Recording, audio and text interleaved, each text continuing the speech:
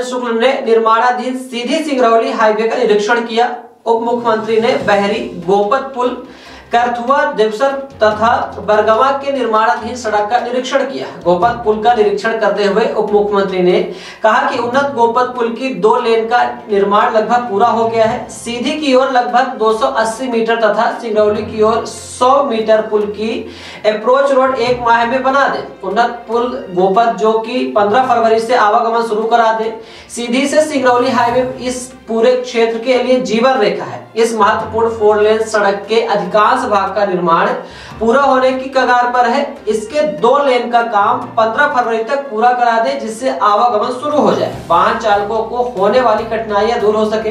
शेष हाईवे का निर्माण भी वर्षा शुरू होने तक शुरू कराने के प्रयास करें। उप मुख्यमंत्री ने कहा कि सड़क विकास की वाहिनी होती है। सीधी से सिंगरौली सड़क का निर्माण काफ़ी दिनों से चल रहा है। इस सड़क का निर्माण पूरा कराने के लिए केंद्र और राज्य सरकार लगातार प्रयास कर रही है। जिसके कारण निर्माण कार्य में गति आई है। इसके निर्माण कार्य की हर मार्ग की समीक्षा की जाएगी। किसी भी क्षेत्र में विकास में सड़क मार्ग, रेल मार्ग और हवाई मार्ग महत्वपूर्ण घटक है। इस दिशा में प्रधानमंत्री नरेंद्र मोदी के नेतृत्व में देश भर में तेज़ी से कार्य किए जा रहे हैं। इसका लाभ वित्त क्षेत्र को भी मिला है। रीवा में उड़ान योजना से एयरपोर्ट का निर्माण हो रहा है। यहाँ मार्च में हवाई सेवा शुरू हो जाएगी। रीवा और सीधी हाईवे में विश्व स्तरीय टनल का निर्माण किया गया है। इसी कड़ी में ललितपुर, सिंगरौली रेलवे लाइन और सीधी से सिंगरौली हाईवे भी शामिल है। जिनमें तेज़ी से कार्य किया जा रहा है।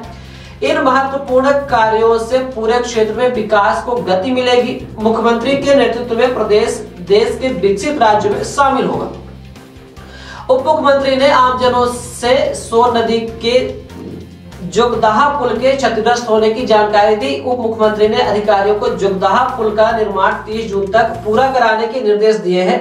उन्होंने कहा कि बहरी से हनुमाना बहुत महत्वपूर्ण मार्ग है। इससे क्षेत्र के लोग सीधे प्रयागराज जाते हैं। तय समय सीमा में पुल का निर्माण कार्य पूरा कराए। वही उप मुख्यमंत्री ने निर्माणाधीन करथुआ पुल का भी निरीक्षण किया।